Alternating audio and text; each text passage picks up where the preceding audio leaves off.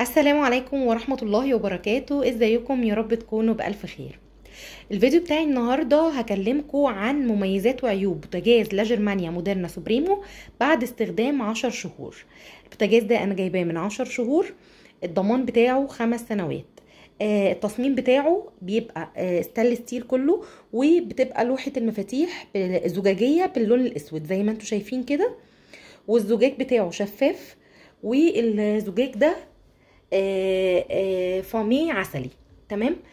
آه، طبعا بوتاجاز لا جرمانيا يا جماعة أنا في الأول كنت مترددة وكنت خايفة. آه، بس أنا بصراحة كنت حابة إن أنا أجيب حاجة آه، إيطالي مستوردة. تمام؟ فأنا آه، يعني لما سألت لقيت الناس بتقولي إن يعني من أفضل البوتاجازات الإيطالي التقفيل المصري هي لا جرمانيا والموضوع ده اجتمع عليه كل الفنيين وكل بتوع الأجهزة الكهربائية بالرغم إن هم عندهم كل أنواع البوتاجازات. فأنا بعد يعني بعد تفكير قررت إن أنا هشتريه. بالفعل اشتريته وكان سعره ساعتها لما جبته أنا جايباه من سنتين بس بقاله عشر شهور بستخدمه. يعني بقالي عشر شهور بس استخدام. كان سعره اتناشر خمسمية تمام؟ عايزة أقول لكم إن هو آه شغال كويس جدا معايا. بس هقول لكم برضو على حاجات أنا اكتشفتها فيه بس مش مضايقاني يعني الموضوع مش مضايقاني أول حاجة آه طبعا البوتاجازات دي يا جماعة آه محتاجة طريقة معاملة خاصة. يعني محتاج آه منظفات معينة عشان آه تنضفوا بيها الستيل وكمان آه ما ينفعش يتنضف بسلك أي حاجة حادة تمام؟ لأن بصوا زي ما أنتم شايفين كده شايفين التجريح؟ يعني يعني أكتر حاجة مضايقاني هو التجريح ده. آه أنا بستخدم السلك الاستانلس وما زلت بستخدمه وعايزة أقول لكم رغم إن أنا عارفة إن هو غلط بس طبعا يعني آه أحيانا ببقى تعبانة مش قادرة مثلا إن أنا أعمل البوتاجاز البوتاجاز وسبته يوم مثلا فالدهون نشفت عليه أو مثلا الأكل آه اللي وقع عليه منقط عليه مثلا أو كده نشف فبضطر إن أنا عشان أسهل على نفسي فبجيب السلك ال stainless steel ده اللي هو بيبقى ملعبك في بعضه ده وببدأ أدعك البوتاجاز. فبيسهل عليا بصراحة. بس طبعا يعني برضو مضايقاني. يعني فكرة إن هو بيتجرح كده زي ما أنتم شايفين برضو. هتلاقوا برضو الكاميرا بصوا شايفين شايفين التجريح. ده برضو تجريح. طبعا في منتجات بتبقى مخصوصة لل steel لو حابين أنتوا تشتروها يعني وتتعاملوا بيها بتنظف حلو جدا. بس خلاص أنا already أنا خلاص أمر واقع بقيت أه يعني البوتاجاز كده كده اتجرح شايفين أهو وأهو. يعني مضايقني بس أه يعني عادي مفيش مشكلة. هنا الحوامل بتاعته من الزهر تمام؟ الحوامل الزهر بصوا لو برضو اتعملت بسلك اتغسلت بسلك برضو بتتجرح. زي ما أنتم شايفين كده هتلاقوا إيه؟ نقط كده تقشير ده تقشير. ده كده النقط الفاضيه اهي بحاول اقرب اهو تقشير اهو. آه بسبب آه ان الطبقة اللي هي زي زي التeflon الظهر ده أصلا في آه شكله بيبقى لونه زي الفض يعني فضي شوية مايل للفضي. فطبعا الجزء الأسود ده ده طلاق. فطبعا لازم برضو نتعامل معاه بحذر لأن الطلاء ده بيتشال فبرضو تعاملوا معاه بحذر. لو أنتوا حابين تحافظوا على البوتاجاز بتاعكم ويبقى يعني يبقى تمام معاكم ويبقى عمره الافتراضي طويل. تمام؟ طيب آه إيه المشاكل اللي واجهتني في البوتاجازات في البوتاجاز ده؟ البوتاجاز ده يا جماعة بعد ست شهور آه من استخدامه آه حصلت لي المشكلة بتاعة انطفاء شعلة الفرن. تمام؟ المشكلة دي أنا كنت بسمع عنها في الفيديوهات وبسمع عنها من الناس إن إن في مشكلة في البوتاجاز البوتاجاز ده مخصوص. آه يعني البوتاجاز على الأخص ده يا جماعة بصوا هقول لكم على حاجة. كل البوتاجازات الأمان الكامل بتعاني من نفس المشكلة دي وارد إن المشكلة دي تحصل لها. البوتاجاز ده يا جماعة ال sensor هو أمان كامل. كل عين من العيون دي والشواية والفرن كمان بيبقى فيه سنسور اللي هو الجزء اللي هو ده. الجزء ده شايفينه؟ الجزء ده اللي هو اللي عامل زي القلم ده. ده السنسور. السنسور ده اللي هو بيحس حساس كده بيحس بالحرارة عشان آآ آآ لو لا قدر الله الحرارة اتطفت الشعلة تفصل غاز. تمام؟ تفصل غاز.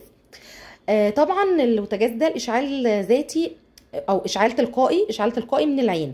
لأن حد قبل كده علق لي على كلمة إشعال ذاتي دي وقال لي ده إشعال تلقائي. آه، في فرق بين الاثنين الاشعال الذاتي بيبقى ليه زرار أما الإشعال التلقائي بيبقى العين نفسها هي اللي بتدوسوا عليها فال- آه، فالعين بتولع. تمام؟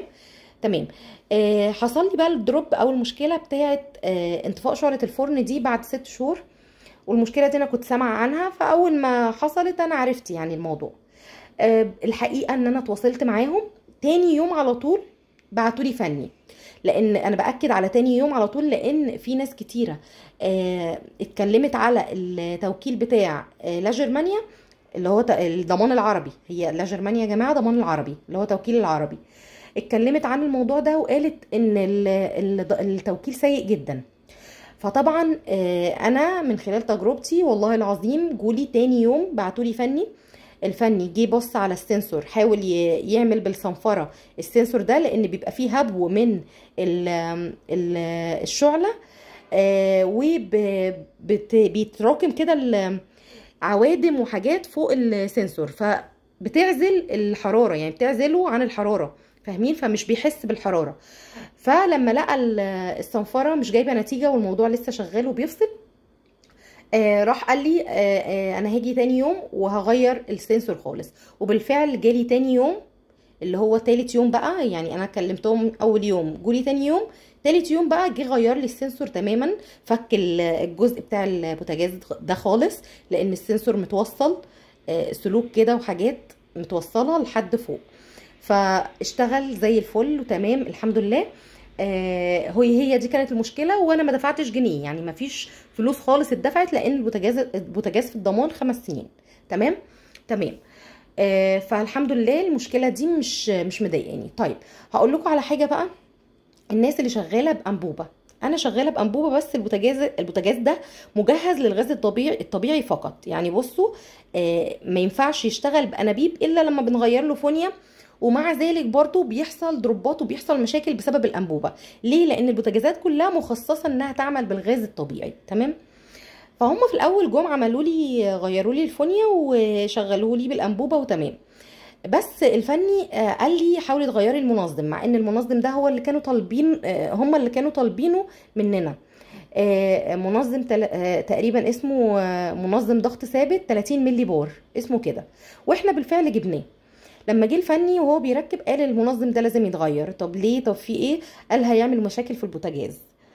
طب ليه؟ بسبب إيه؟ أنتوا اللي طالبينه هم اللي طالبينه مننا وكده. فراح قال لنا آه والله أنا شايف إنه لازم يتغير لأن أنا هوطي لك الضغط بتاعه قلل الضغط بتاعه فعلا. بس مع ذلك أنا حاسة إن الشعلات حامية قوي. يعني بصوا شايفين؟ شايفين الصوت كمان اللي طالع؟ آه الشعلة دي حامية جدا. يعني دي أكتر شعلة حامية لأنها كبيرة. بس آه برضو الشعلات التانية حامية جدا. تمام؟ تمام. آه مش عارفة المشكلة بقى. هو قال لنا إيه؟ قال لنا إن المنظم آه اللي موجود عندكم ده هيعمل مشاكل في البوتاجاز وهيخلي حاجات تفرقع. أنا مش عارفة إيه الحاجات اللي هتفرقع في البوتاجاز بس أعتقد إن ممكن لا قدر الله sensor يتحرق. آه، ممكن آه، مثلا آه، حاجة داخلية مثلا يحصل لها حاجة تبوظ. أنا مش عارفة الحقيقة إيه اللي بيحصل يعني بسبب المنظم. ف آه، إحنا ما غيرناهوش. إحنا حاولنا ندور عليه تاني ما لقيناش النوع ده خالص. قال لنا مفيش بوتاجاز يعني كل ما نروح حتة يقولوا لنا مفيش المنظم ده مش موجود. أنا مش عارفة يا ريت حد يجاوبني برضو في التعليقات ويقول لي هل المنظم ده صح إن أنا أستخدمه اللي هو آه، ضغط ثابت 30 ملي بار ولا أغيره ولا إيه؟ لأن قالوا لنا أقصى حاجة 12 يعني لما رحنا سألنا عشان نشتري واحد تاني قالوا لنا أقصى حاجة 12 ملي بار. فالحقيقة أنا مش عارفة. طبعا زي ما أنتم شايفين كده ال- البوتاجاز زي- ما قلت لكم اللوحه آه، لوحة المفاتيح زجاجية. وطبعا في ثلاث زراير ده بتاع آه، المروحة بتاعه الفرن. وكمان آه، آه، دي بتاعه الشواية ودي اللمبة طبعا وده ال timer طبعا بتظبطوه بتثبته من هنا. طيب آه بالنسبة للشواية بصوا بقى أنا هقول لكم على الشواية لأن ناس بتتكلم إن الشواية هادية هي فعلا هادية. بصوا أنا مش هكدب عليكم بصوا. بصوا وأنا بولعها. اهي. هي already هادية هادية خالص. بس آه هي هادية يا جماعة مش دي مش مشكلة ولا عيب في البوتاجاز. تمام؟ آه دي آه الشواية هادية لأن آه مواصفات الأمان العالمية بتقول إن ما ينفعش آه الحرارة تبقى شواية مثلا شغالة مع فرن هتزود درجة الحرارة جامد في الفرن. فطبعا بتسبب مشاكل آه في البوتاجاز يعني حاجة خاصه حاجات خاصة بالأمان مواصفات الأمان العالمية لأن. البوتاجاز هيبوظ وعمره الافتراضي آه هيبوظ. فطبعا آه عشان كده الشواية هادية. تمام؟ أنا بالنسبة لي الشواية مش مضايقاني في حاجة لأن مروحة التوزيع اللي هي جوه دي المروحة دي يا جماعة حلوة جدا بتوزع الحرارة جميل جدا جدا حتى لو شغلت الفرن وما شغلتش شواية. فمش بحتاج إن أنا أحط الحاجة أو أعمل لها وش. بس لو أنتوا حابين حاجة تدوها وش فهي شغالة معاكم تمام يعني مش مش مضايقاني في حاجة يعني. تمام؟ آه طيب. الإزاز بتاع الفرن. الإزاز ده في إزاز داخلي زي ما أنتم شايفين اللي هو ده وفي إزاز خارجي اللي هو ده. تمام؟ الإزاز الخارجي ده آه يعني ما بيتفكش يا جماعة غير لما تشيلوا الباب خالص باب البوتاجاز خالص. لازم تشيلوا باب البوتاجاز عشان آه طبعا مفصلات أهي. دي ليها طريقة في الفك وبتتشال تمام؟ الزجاج الداخلي ده طب معمول ليه والزجاج الخارجي ليه؟ الزجاج الداخلي ده عشان لو لا قدر الله الزجاج الخارجي اتكسر أو حصل له حاجة يبقى في حاجة تحمي إن إن الأبخرة ما تطلعش بره تمام؟ والدهون بقى والترسبات والحاجات دي تمام؟ بصوا هتلاحظوا هنا إن إن في نقط ميه آه معلمة كده في في الإزاز. طب ده بسبب إيه؟ بسبب الفتحات دي. الفتحات دي يا جماعة الفتحات دي طبعا آه البخار بيتحبس جوه هنا فطبعا بيعمل زي نقط. وإحنا عشان نغسل البوتاجاز زي ما قلت لازم نفك الباب خالص. وطبعا أنا ما يعني مش بفضل الطريقة دي لأن آه الموضوع ده هيبقى يعني مقلق بالنسبة لي لأن أنا أخاف يتزحلق من إيدي لا قدر الله فيتكسر أو لا قدر الله ما أعرفش أركبه تاني أو كمان آه لو ركبته ممكن حاجة لا قدر الله مفصلة تتعوج أو حاجة فمش هينفع إن أنا أركبه بسبب إن المفصله اتعوجت. فأنا بغسله كده من بره ومن جوه وخلاص. تمام؟ تمام. آه عايزة أكلمكم عن الجوانب بتاعته. هي آه بتسخن يا جماعة مش ما بتسخنش هي بتسخن بس مش السخونية اللي, آه اللي أنتوا متخيلينها. آه إلا لو أنتوا بتعملوا مثلا بتخبزوا. قعدتوا مثلا آه ست سبع ساعات بتخبزوا مثلا أو بتعملوا حاجة ف فبتلاقوا الجوانب سخنت جدا. تمام؟ وده طبيعي يا جماعة. يعني هو أربع طبقات عزل عزل معمولين في في البوتاجاز ده. بس مع ذلك بيسخن. كمان الواجهه بتاعته هي الواجهه بتاعته بصوا الواجهه في مروحة هنا تحت تحت الجزء ده. يعني في الجزء ده من هنا في مروحة. تمام؟ المروحة دي عشان تبرد لوحة المفاتيح وما يحصلهاش حاجة. تمام؟ آه فالمروحة بتطلع الصهد لأن في. بصوا في فرق هنا كده فتحات. الصهد كله بيطلع على بره. ف... ف بتحسوا إن المطبخ مثلا سخن قوي أو في صهد يعني طالع بسبب إن المروحة بتحاول تطلع السخونية على بره. تمام؟ المروحة أنا بتكلم هنا عن مروحة التبريد مش مروحة توزيع الحرارة. مروحة التبريد بتطلع الهواء السخن على بره. تمام؟ بتطرده يعني بتطرده. بس مش بيطلع لا قدر الله على المفاتيح. يعني بتيجوا تمسكوا المفاتيح لا مش بتلاقوها سخنة. عادية دافية اللي هو العادي خالص مش مش سخنة ولا أي حاجة. تمام؟ دي من وجهة نظري. أما البوتاجاز البوتاجاز شغال حلو جدا معايا. في ناس ناس بتقول أنا مش عارفة أظبطه وأنا بعمل الكيكة بتبوظ مني والكلام ده.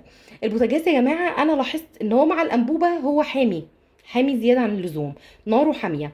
أنا مش عارفة مع الغاز الطبيعي يا ريت تكتبوا لنا في التعليقات برضو لو شغال تمام مع الغاز الطبيعي ودرجة الحرارة بتعملوا الكيكه مثلا على 180 وبتظبط معاكم لأن أنا ما بتظبطش معايا غير على 140 140 الكيكة بشغل المل... ال... الفرن على 140 قبل ما أعمل ال... وأنا ببدأ كده وأنا بعمل الكيكة. تمام؟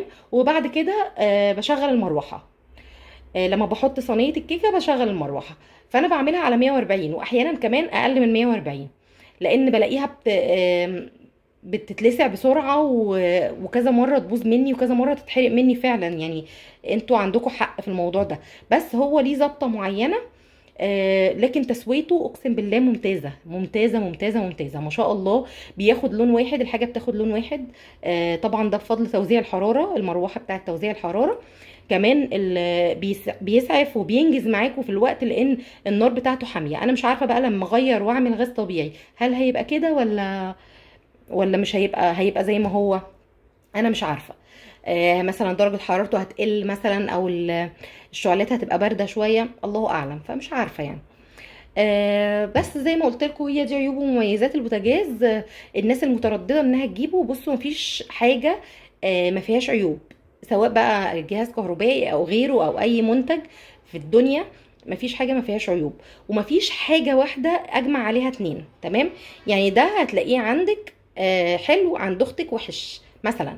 آه كل واحد بيبقى ليه وجهة نظر وكل واحد بيبقى أحيانا الأجهزة دي بتبقى حظوظ يا جماعة عايزة أقول لكم. أحيانا بيبقى في ساعات آه، آه، سوء تصنيع مثلا. في مشكلة في التصنيع أو عيب تصنيع لا قدر الله حصل آه، في وقت ما أو في فترات ما في تصنيع البوتاجاز ده أو أو غيره أو غيره يعني. فكل حاجة واردة في الأجهزة كل حاجة واردة في أي منتج عامة.